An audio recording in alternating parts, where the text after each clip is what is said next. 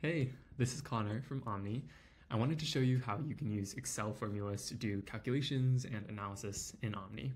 We know most folks are comfortable using spreadsheets, so we wanted to make sure that that's a core interaction path in Omni as well.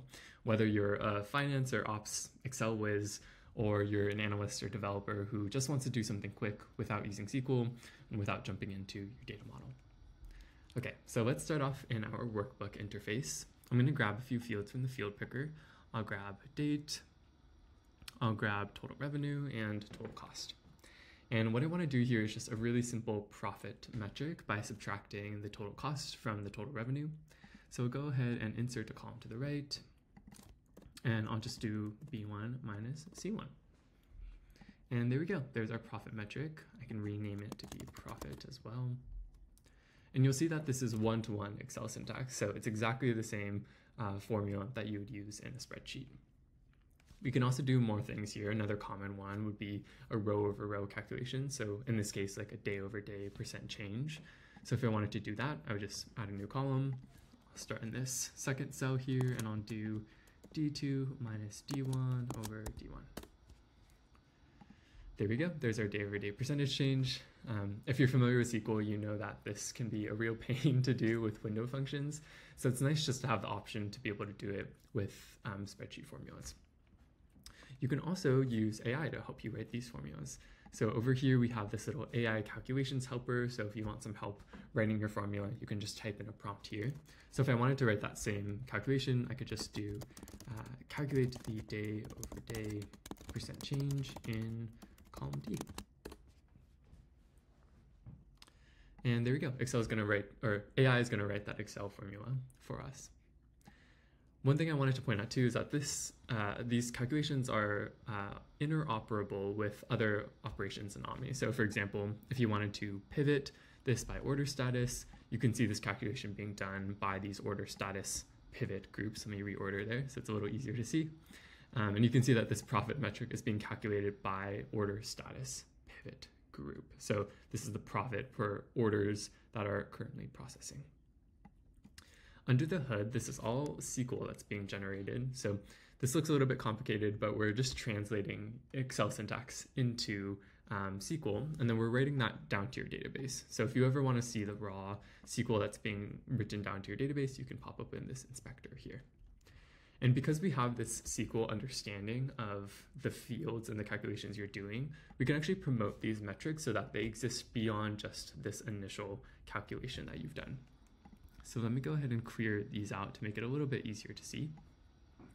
And let's say I wanted to calculate this profit metric um, to be more broadly available. This profit metric might be um, helpful to others. So I can go ahead and hit promote to workbook here. And that's going to add that profit field to my field picker here. You'll see it's even um, defining this as a SQL metric where it's taking the total sale price or the total uh, revenue field minus the total cost field. And if you wanted to go even further, and if you have the permissions to do this, you can also make it so that this profit field is available in your shared data model. So that means anytime someone opens up a new workbook, they'd also have access to this profit field. So all these features make it so that you can quickly iterate on your data and then push what's useful back to the rest of your organization or just back to the workbook so that you can use it as you're doing more analysis. One more use case I wanted to show here is joining data between tabs. So if you're familiar with spreadsheets, you might do this with XLOOKUP, VLOOKUP, even an index match here or there. Um, and you can do that using XLOOKUP in Omni as well. So here we have our profit data, but let's say I wanted to look at this data alongside our user acquisition data, for example. So I can open a new tab here, and I'll go to our user acquisition topic, which is a curated set of data around user acquisition. And I'll grab the created at date as well as the user's count. And then actually let me add a filter as well, so it's on the same uh, time as the other query. Okay, great. So now uh, we have these two data sets and it's a little bit difficult to join these uh, two results. It's a little bit awkward to join like on a date um, when these tables don't have much other um, have much of an other relationship. So um, here we can just do XLOOKUP to join those two uh, results together and then we can plot them on the same chart. So I'm going to go ahead and go ahead and insert a column to the right here, and I'll do XLOOKUP. I'll look up this date in this query in the first column, and then I'll grab the result from the fourth column, which is our profit field.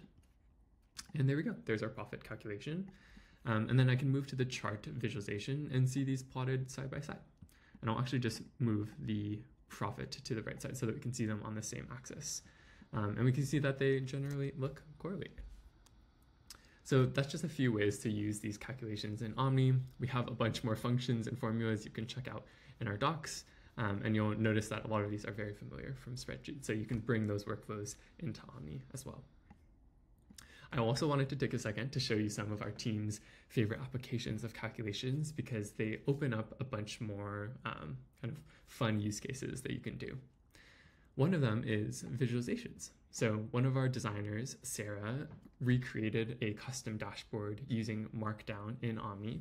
She created this really cool um, user and average sales trend dashboard. And this tile card here is actually built off of calculations. So let me open up that tile. Um, and here's the tile that was generated. But under the hood, all of those metrics are actually um, calculations. So if I scroll here, there's min, there's max, there's a few subtractions. There's even some if statements here that's being used to uh, define what the visualization looks like. And then if I pop up in the chart view itself, let me make this bigger. If I scroll down here, you can see that these those results, those calculations are actually being referenced in the markdown dynamically. And you can uh, use this little helper that we've built so that you can automatically insert the results from your results tab into the visualiz visualization using Markdown. Um, and a few more fun use cases I wanted to show you are with the AI calculations helper that I showed you earlier. So let me pop open a new tab and I'll show you a use case where you can identify outliers using Calcs AI. It's one of my favorite uh, use cases. I'll do created at date and total revenue. And let me increase the uh, number of days here just so we have a little bit more data to look at. So here I'm going to ask AI to help me identify some outliers. So I'm going to say uh, create a boolean field that tells me if each day's sales is an outlier or not. Awesome.